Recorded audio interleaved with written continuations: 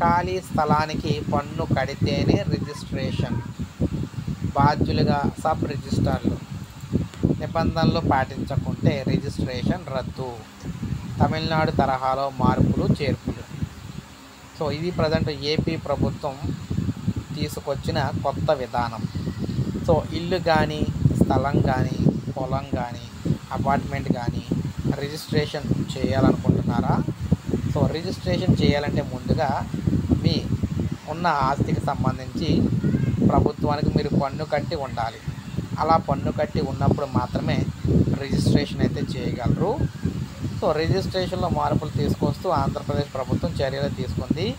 ఈ మేరకు stamps and duty registration శాఖ రామకృష్ణ మోహన్ గారు ఇక కృష్ణ గారు మెమో అయితే జారీ చేశారు. ఫ్లాట్లు రిజిస్ట్రేట్ చేసుకునే సమయంలో అప్పటి వరకు ఖాళీ స్థలంగా ఉన్నప్పటికీ దానికి సంబంధించిన విఎల్టీ వేకెంట్ ల్యాండ్ ట్యాక్స్ కడితేనే రిజిస్ట్రేషన్ చేయాల్సి ఉంటుంది. అలా కట్టకుండా చేస్తే సబ్ రిజిస్టర్లు బాధ్యత చేస్తామని హెచ్చరించారు. గతంలో పాత డాక్యుమెంట్లు ఉంటే రిజిస్ట్రేషన్ చేసేవారు.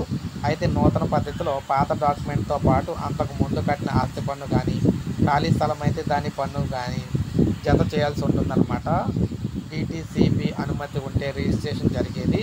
ఇప్పుడు ఖచ్చితంగా పట్టణ సంస్థల అనుమతి ఉన్న ఫ్లాట్లకు మాత్రమే రిజిస్ట్రేషన్ చేయాల్సి ఉంటుందని భూ స్థితిని మార్చుకున్న దానికి సంబంధించిన వివరాలు అయితే సబ్మిట్ చేయాలని కోరుతున్నారు. సో ఈ విధంగా ఉన్నదన్నమాట ఏపీలో సిచ్యువేషను. సో ఖాళీ స్థలానికి పన్ను కడితేనే రిజిస్ట్రేషన్ అయితే ఇక్కడ నుంచి చేయడానికి అవుద్ది. సో మీరు అమ్మాలన్నా కొనాలన్నా రిజిస్ట్రేషన్ అయితే అంటే పన్ను అయితే కట్టి ఉండాలి. ఆ స్థలానికి అప్పుడు మాత్రమే అమ్మడంగానే కొనడంగా చేయగలుగుతారు. సో ఇది ఫ్రెండ్స్ వీడియో. ఒక లైక్ చేయండి. అందరికీ వేస్తుంది సబ్స్క్రైబ్ చేసుకోకపోతే మన ఛానల్ సబ్స్క్రైబ్ చేసుకొని ఫాలో అవుతుండండి